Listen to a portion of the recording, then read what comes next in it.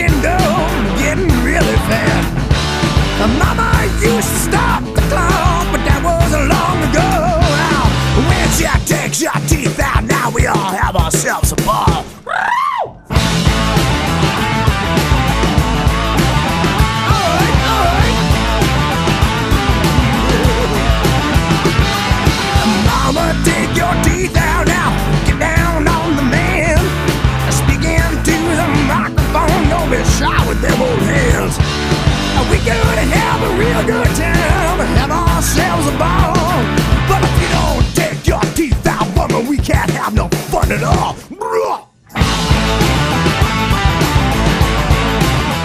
Too far from LaGuardia. I'm often, our apartment, my neighborhood is often in the flight path, depending on the wind patterns, depending what uh,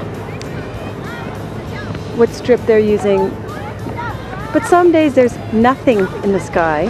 There's not even normal planes with no contrails, and some days there's tons.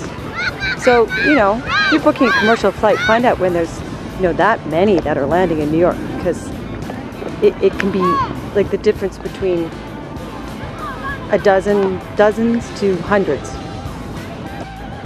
This time of night is a really good time to um,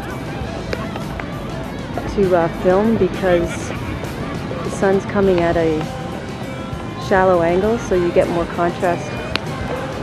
Shutter your lens down a bit, you get even better contrast. And there he goes. Come on. Oh, and look, there's there's a plane. Oh, looks like pretty much at the same altitude. No contrail.